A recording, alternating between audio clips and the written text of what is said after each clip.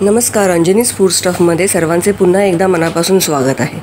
बुंदीचे लाडू सर्वांनाच खूप आवडतात पण दरवेळी हे लाडू व्यवस्थित जमतीलच असे नाही. म्हणूनच आज आपण चणा डाळीचे असे लाडू बनवणार आहोत जे करायला अगदी सोपे आहेत. आणि हे लाडू अगदी बुंदीच्या लाडवांसारखेच लाग चणा डाळ वाटून हे लाडू आपण बनवणार आहोत म्हणूनच या लाडवांना वाटल्या डाळीचे लाडू म्हणतात. चला तर मग सुरुवात करूया. मी इथे ही चण्याची डाळ घेतलेली आहे. ही दोन कप चण्याची डाळ आहे ही आता आपल्याला स्वच्छ धुवून भिजत घालायची आहे. कमीत कमी दोन ते तीन तास तरी डाळ चांगली भिजली पाहिजे. त्याच्यानंतर आपल्याला ग्रा ग्राइंड करायची आहे ती डाळ. त्यासाठी आपल्याला आधी चांगली भिजवली पाहिजे ही डाळ. मी ही डाळ आधी आधीच भिजत घातली होती.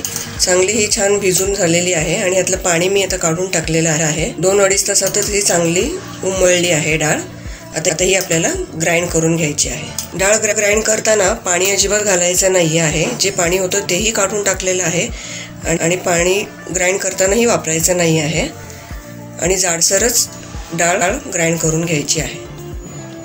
आता इथेही आपली चण्याची डाळ ग्राइंड करून झालेली आहे. अशा प्रकारे ही जाडसरच मी ठेवलेली आहे डाळ. आता ही आपल्याला तुपावर चांगली खमंग परतून घ्यायची आहे. तर ही मी दोन कप डाळ घेतली होती. तर त्यासाठी आपल्याला दीड ते दोन कपच तूप तूप लागणार आहे. तर ही डाळ भाजण्यासाठी आपल्याला सव्वा कप तूप पुरेसं होणार आहे. तेवढ्या तुपामध्ये आपण ही छान डाळ भाजून घ्यायची आहे.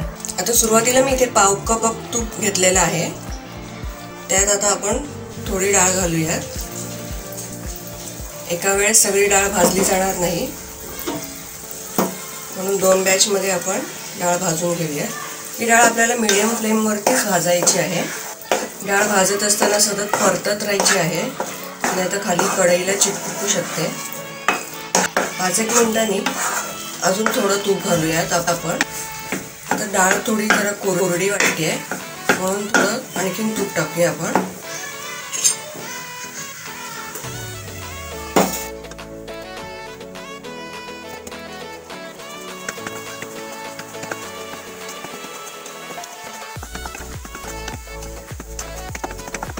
प्रकारे डाळ सतत हलवत राहून छान परतून घ्यायची आहे. आता आपली ही डाळ भाजत आलेली आहे. छान गुलाबी सरपदी रंग आलेला आहे. आधी खमंग अशी अशी भाजली गेलेली आहे. कलर ही चेंज झाला आहे. आता ही आपली वाटलेली डाळ होती. पहा ह्याचा कलर असा होता आणि भाजलेल्या डाळीचा हा कलर अशा प्रकारे तुम्ही फरक समजू शकता की इतपत आपल्याला ही डाळ भाजून घ्यायची आहे.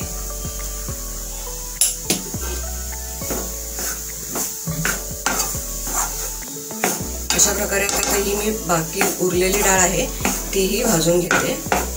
आता अशा प्रकारे आपली ही सर्व डाळ भाजून झालेली आहे. छान अगदी लालसर गुलाबी रंग आलेला आहे. व्यवस्थित भाजली गेलेली आहे डाळ. आता आपण साखरेचा पाक करायला घेऊया.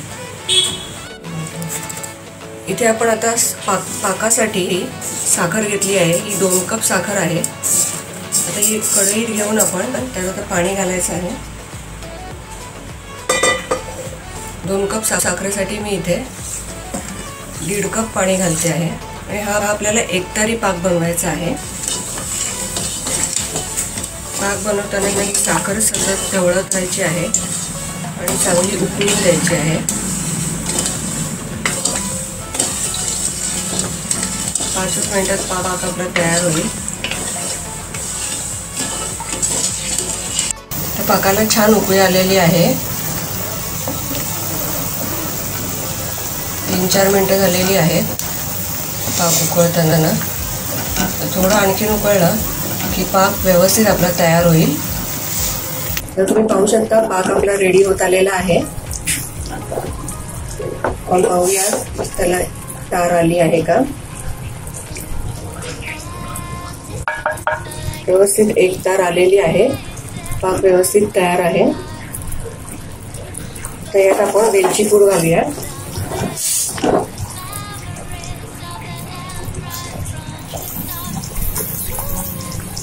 आवडीनुसार एक दोन टीस्पून वेलची पावडर घालायची आहे.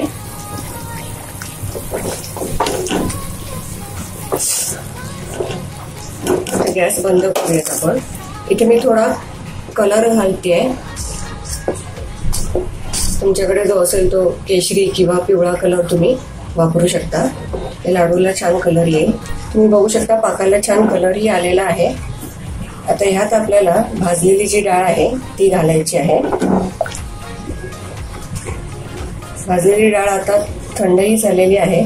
त्यामुळे आता गॅस बंद केलेला आहे आणि गॅस बंद करूनच आपण ही डाळ घालायची आहे.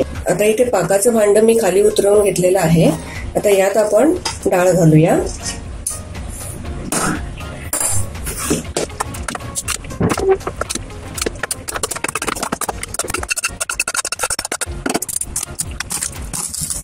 डाळ घालून हे सर्व मिश्रण व्यवस्थित मिक्स करून घ्यायचं आहे.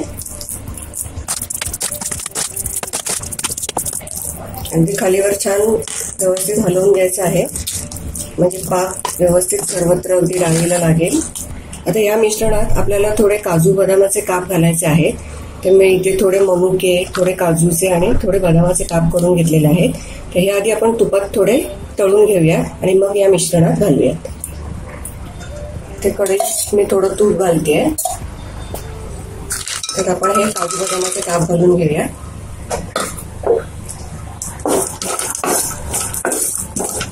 दोन तीन मिनटं हे काप सगळे फ्राय करून घेऊया तुपात आता हे फ्राय झालेले हे काजू बदाम आणि मनुके आपण या मिश्रणात घालून घेऊया.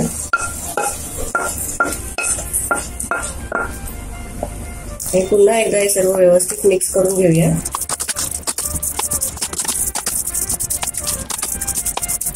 तर हे मिश्रण आपल्याला एक तास तरी मुरून द्यायचं आहे. आणि त्यानंतर आपल्याला हे लाडू वळायचे आहेत तर हे मिश्रण आपण असंच एक दीड तास ठेवूया. म्हणजे थोडं घट्टही होत येईल आणि थंड होईल म्हणजे लाडू वळायला सोपे पडतील. आता जवळजवळ दीड तासानंतर हे मिश्रण आता थंडही झालेलं आहे आणि घट्टही होत आलेलं आहे तर चांगलं. आता ह्याचे आपण लाडू वळायला घेऊयात.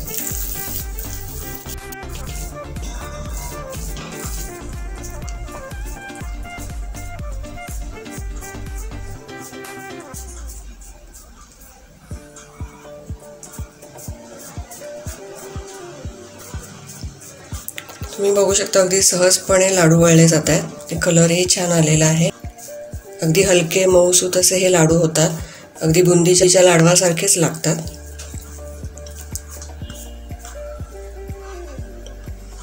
बघा किती छान लाडू झालेला आहे. असेच आता आपण सर्व लाडू वळून घेऊया.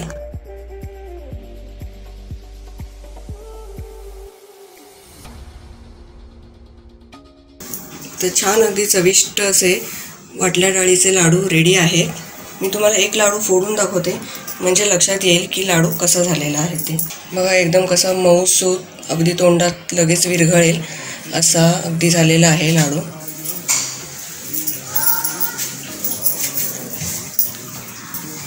ह्या लाडूची रेसिपी जर तुम्हाला आवडली तर प्लीज लाईक शेअर आणि कमेंट करा. आणि जर चॅनल अजून सबस्क्राईब केलं नसेल तर प्लीज सबस्क्राईब करा. पुन्हा भेटूया नव्या रेसिपीसह लवकरच. धन्यवाद.